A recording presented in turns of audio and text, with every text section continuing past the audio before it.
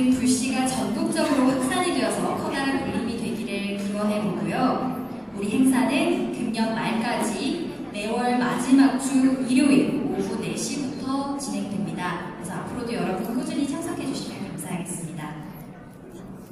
네, 그러면 행사를 시작하기 앞서서 국민의례 순서를 갖도록 하겠는데요. 내빈 여러분